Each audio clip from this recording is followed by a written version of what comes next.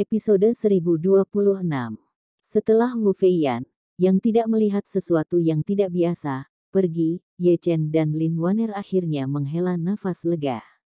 Setiap orang yang begadang semalaman sudah lelah, dan semua orang sangat mengantuk sehingga mereka tidak bisa membuka mata. Beberapa orang bergegas kembali ke tenda untuk beristirahat satu demi satu, dan Hu Leki tidak tahan lagi, dan berkata kepada Ye Chen dan Lin Waner, Aku sudah lama tidak begadang, dan tubuh benar-benar tidak tahan. Kalian berdua pasti lelah, kenapa kalian tidak kembali ke tenda dulu? Istirahat dan tidurlah. Ayo pergi ke Erdaogo 15 km jauhnya di sore hari, apakah kamu mau datang bersama? Ye Chen menggelengkan kepalanya, kami tidak akan pergi, dan berencana untuk berkeliling. Sulan penasaran ditanyakan, ke mana kalian berdua pergi? Ye Chen berkata dengan santai, kami berencana pergi ke Lijiang untuk bersenang-senanglah dan tinggallah selama beberapa hari. Stasiun adalah perbatasan barat daya Yunan Selatan. Alasan mengapa Ye Chen mengatakan itu adalah Lijiang terutama untuk menghindari risiko. Hu Leki mengangguk, dan berkata sambil tersenyum, kami pernah ke Lijiang, cukup bagus, kamu bisa pergi dan bersenang-senang selama beberapa hari.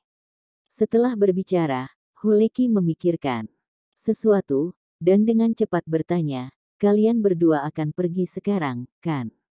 Ye Chen berkata, benar, ayo pergi sekarang.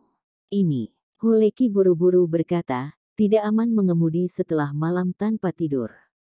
Kamu harus istirahat dulu, dan belum terlambat untuk pergi setelah mengisi ulang energimu. Tidak, Ye Chen tersenyum dan berkata, Jadwal selanjutnya relatif ketat, jadi aku tidak akan beristirahat di sini. Lagi pula belum terlambat untuk beristirahat di Lijiang, tidak terlalu jauh. Hu Leki mengangguk dan berkata, ya, totalnya. Hanya lebih dari satu jam perjalanan, dan ketika kami tiba, kami dapat membuka hotel dan beristirahat dengan baik. Melihat bahwa Ye Chen dan Lin Waner benar-benar akan pergi, Sulan berkata dengan menyesal, Kupikir aku bisa menghabiskan beberapa hari lagi bersamamu, tapi aku tidak menyangka kamu akan pergi secepat ini. Aku tidak tahu jika akan ada kesempatan untuk melihatmu lagi di masa depan. Bagi Sulan, dia tidak tahu kapan hidupnya akan berakhir di masa depan, tetapi dia tahu bahwa hari ini pasti tidak akan terjadi terlalu panjang. Oleh karena itu, menghadapi teman baru yang bisa diajak ngobrol seperti ini, dia masih sedikit enggan, dia selalu merasa hidup ini singkat, dan saya khawatir perpisahan ini akan selamanya. Huleki tahu apa yang dia pikirkan, dengan lembut memeluk pinggangnya, dan menghiburnya dengan senyuman, berhentilah memikirkannya, Tuhan akan menjaga kita. Lin Waner memandang Ye Chen ke samping, dia sedikit mengerutkan bibirnya, hanya melihat Ye Chen tidak berbicara. Meskipun Lin Waner tidak berbicara, Ye Chen juga tahu apa yang dia maksud ketika dia memandangnya. Melihat orang lain tidak kembali ke tenda untuk beristirahat, Ye Chen berkata, Hutua, mengapa kamu dan Sulan tidak mengirim kami pergi? Hu Leki sedikit terkejut, dan kemudian langsung setuju, berkata, oke. Okay. Kami akan mengantarmu. Kamu. Saat dia berbicara, Huleki bertanya lagi, ngomong-ngomong, Apakah kamu perlu aku mengemasi tenda untukmu? Petik 2. Tidak. Ye Chen melambaikan tangannya. Kami tidak akan membawa tenda bersamamu. Mari tinggalkan untuk mereka yang membutuhkannya. Lin Waner ragu sejenak, memberanikan diri untuk bertanya pada Ye Chen, sayang, bisakah aku membawa tenda? Takut itu akan berguna di masa depan. Mendengar apa yang dia katakan, Ye Chen berkata lugas, oke, okay, Aku akan mengambilnya dan membawanya. Huleki juga buru-buru berkata, aku akan membantumu. Keduanya meletakkan pergi tenda bersama-sama, dan Huleki tidak bisa membantu menggoda Ye Chen. Tenda ini didirikan untuk apa-apa kemarin, dan saya tidak menggunakannya untuk tidur untuk sementara waktu.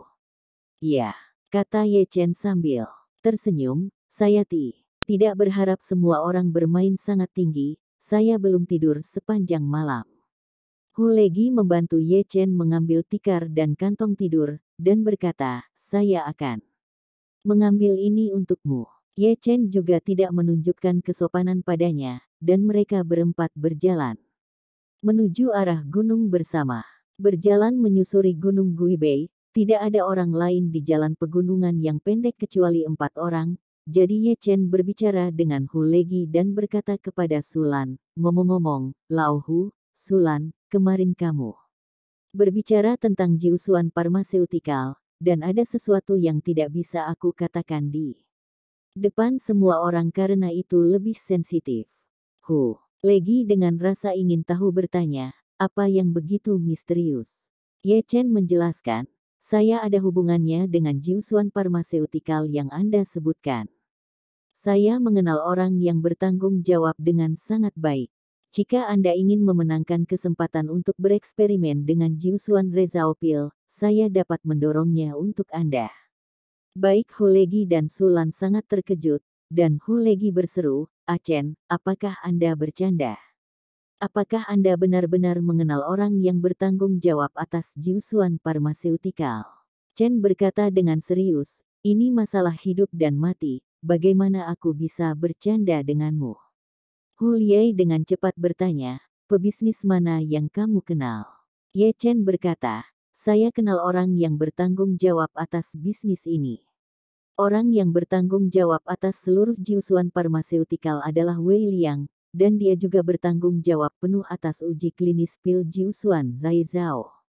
Dengan persahabatan saya dengannya, seharusnya bukan masalah untuk memenangkan dua tempat untukmu. Keduanya saling memandang. Luar biasa. Nama Wei Liang, mereka secara alami seperti guntur. Tidak ada yang tahu siapa bos sebenarnya dari Jiusuan Farmaseutikal, tetapi hampir semua orang yang mengenal Jiusuan Farmaseutikal pernah mendengar nama Wei Liang. Semua orang tahu bahwa Wei Liang adalah CEO dari Jiusuan Farmaseutikal, dan dia memutuskan semua masalah besar dan kecil dari Jiusuan Farmaseutikal, dan dia secara pribadi memeriksa kuota uji pil Jiusuan Zaizao kali ini. Dikatakan bahwa orang ini tidak mementingkan diri sendiri dan tidak mementingkan diri sendiri.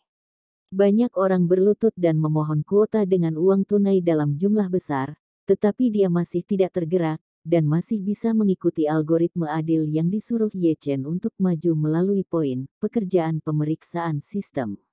Orang biasa ingin melihatnya bahkan lebih bodoh, Wei Liang saat ini tidak keluar untuk bertemu siapa pun kecuali dealer dan pemasok. Kebanyakan orang hanya ingin melihatnya.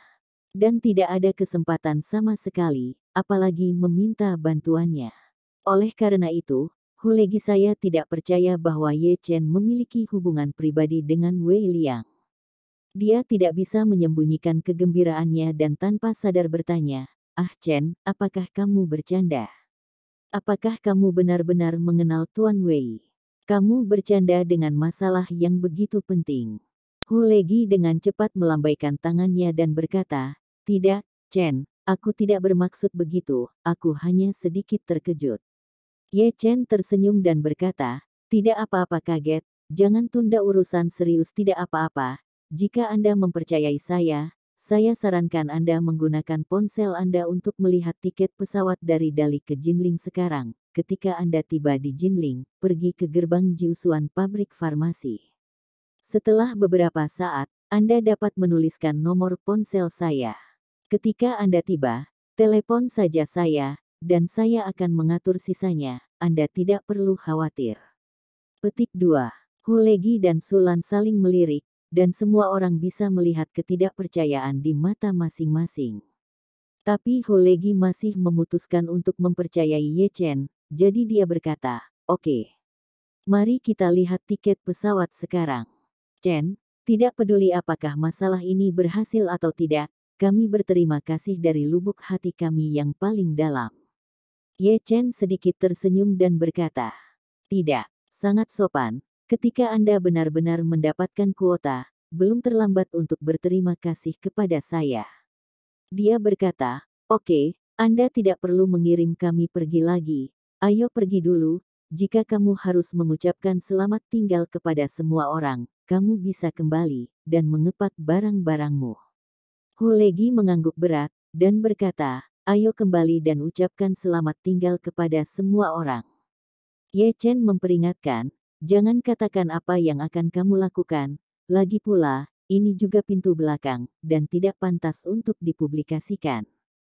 Petik 2. Bagus. Hulegi berkata tanpa ragu, jangan khawatir, kami tidak akan memberitahu siapa pun.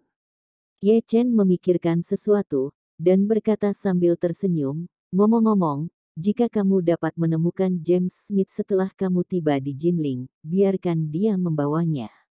Pergi ke putranya. Ayo pergi ke Jiusuan Pharmaceutical dengan kamu, Wei Liang akan membuat pengaturan yang tepat.